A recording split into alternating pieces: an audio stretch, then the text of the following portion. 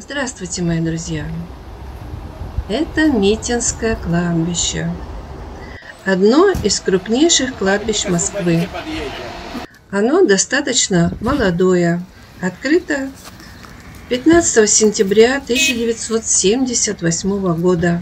Мы с вами здесь уже бывали на некоторых могилах известных людей.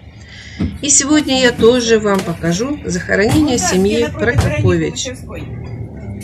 Поскольку кладбище большое, по кладбищу по установленному маршруту ходит местный автобус, и я сейчас на нем проеду до участка 48А. И там покажу вам семейную могилу Николая Константиновича Прокопович и его жены Инги Трофимовны в девичестве Задорожной. Мы уже подходим к их могиле. Вот она. По фамилии, возможно, вы и не знали, а посмотрев на фотографию, я думаю, что сразу узнаете. Прокопович Николай Константинович. И рядом его жена Прокопович. Инга Трофимовна Девичья фамилия у нее Задорожная. Николай Константинович родом из города Тула. В 1943 году был призван в армию, дошел до Берлина, но в апреле 1945 года был ранен и победу встречал уже в госпитале. Имел боевые награды. После госпиталя вернулся в Москву, окончил школу-студию МХАТ – и с 49 года он играл в театрах Москвы, много снимался в кино. У него 70 киноработ. Играл много ролей российских и немецких офицеров. Причем, вот, например, Генриха Гиммлера он сыграл в трех фильмах. «17 мгновений весны», «Родины солдат» и «Дума о Ковпаке». Играл он и Михаила Ломоносова, и полковника КГБ, и генерала НКВД. Ну, видимо, внешность была такая соответствующая. Но ему одинаково хорошо удавались роли и комедийного жанра, и драматического.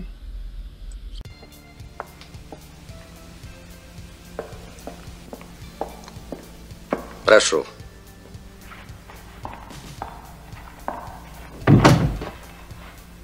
Фюрер больше не может быть вождем нации. У фюрера парализована воля. Он не может принимать решений. Мы обязаны обратиться к народу. Гейн хотел сказать «да, Генрих, я согласен с вами». Но ему мешала эта черная папка. Он знал, что там может быть вмонтирован диктофон, и что этот разговор через два часа будет передан фюреру. И тогда конец. Вы преемник Следовательно, вы президент.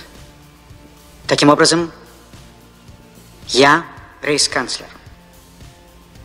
Он может болтать что угодно, думал Геринг. Отец провокаторов не может быть честным человеком. Если бы он мог быть честным человеком, я бы согласился со всеми его предложениями.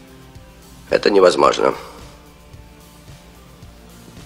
Это невозможно. Только один должен быть и президентом, и канцлером.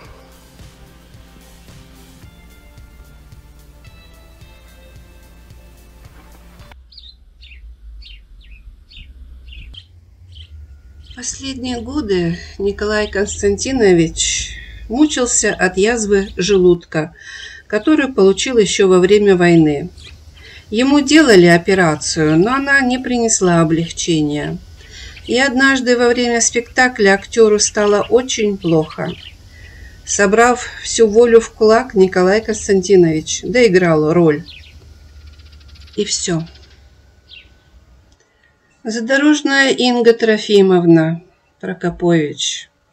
Она в основном театральная актриса. В интернете мало ее фотографий. Умерла в 2020 году.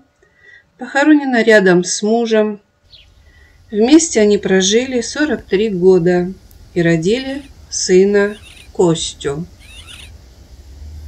После смерти Николая Константиновича их общий сын женился на женщине-провинциалке, старше себя на 10 лет, у которой были уже дети, и стал требовать от матери наследства. Инга Трофимовна хотела продать дачу, машину, но сын угрожал сжечь все. Она мне так сказала, я дачу продам. Я ей сказал, как только я узнаю, что эта дача продана, я сяду в тюрьму, потому что я эту дачу спалю. Я приеду, оболью здесь все бензином и сяду в тюрьму. И это при том, что дача у них была на два хозяина. В соседях у них были Валентин Гафт и Ольга Остроумова. Я пришла в театр Пушкина по конкурсу, когда там появился Равенских Борис Иванович. Меня взяли по конкурсу, и я там встретила в театре Николая Константиновича. И потихоньку, помаленьку я вышла за него замуж, и мы народили Чудовище! вот этого сына. Ну, вот так мы и жили. Мы 40 лет с ним прожили. Комната сына? Ну вот, пожалуйста. Убираться он не убирает. Вот так он живет. Откуда-то эти приносят эти вещи. Что это, чье это? Это я не знаю. Это я не знаю. Я только вижу, когда он входит в мою комнату, я начинаю нервничать, потому что он начинает там шуровать, начинает вы, вытаскивать сберкнижку, паспорт, еще что-то, воровать начинает, деньги. Свидетелей нет, сын единственный, родной. Ну что я скажу, что на меня кидался, он с матом и говорил мне гадости. Умерла Инга Трофимовна в 2020 году на 85-м году жизни. И уж теперь-то Костя получил свое наследство. И дачу, и машину, и квартиру. А памятник так и не поставил. Хотя на передаче говорил, что нежно любит маму. А похороны Инги Трофимовны оплатила программа «Пусть говорят».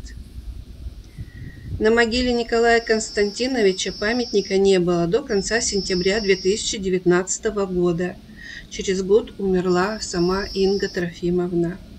Она не смогла поставить памятник, у нее не было средств, она поставила только оградку. Сыновья, ни сын от первого брака, ни сын Костя памятник не ставили. Кто поставил памятник? Может быть, поклонник может быть театр, может быть массовет. Вот такую грустную семейную драму я вам рассказала. А мы с вами побывали на семейном захоронении Прокоповича Николая Константиновича и Инги Трофимовны, российских актеров театра и кино. А я с вами прощаюсь. Всем вам всего доброго. До новых встреч. Берегите себя и пока-пока.